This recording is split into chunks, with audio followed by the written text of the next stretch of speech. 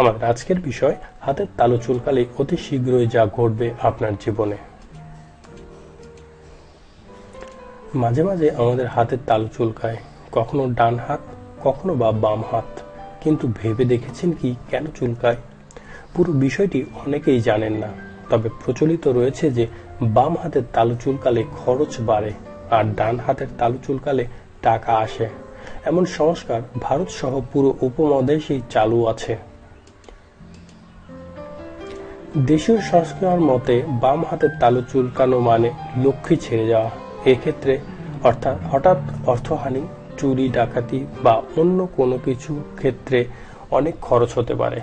অন্যদিকে, ডান হাতের তালু চুলকানো মানে লক্ষ্মী প্রাপ্তির সম্ভাবনা। এতে হঠাৎ অর্থপ্রাপ্তি, দূর আত্মীয় সূত্রে সম্পত্তি লাভ, নিজেরই লুকিয়ে রাখা এবং পরে ভুলে যাওয়া টাকা হাতে আসা ইত্যাদি হতে পারে।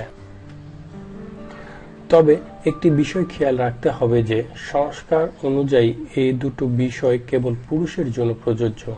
নারীদের ক্ষেত্রে বিষয়টি একেবারেই উল্টো। সেখানে ডান হাতের তালু চুলকানো মানে অর্থহানি, আর বাম হাতের তালু চুলকানো মানে অর্থপ্রাপ্তি।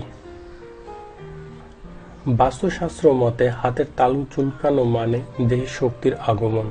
যেহেতু অধিকাংশ মানুষই ডান হাতি, তাই বাম হাতকে ধরা হয় আমাদের দেহের একটি অপ্রত্যক্ষ অঙ্গ হিসেবে।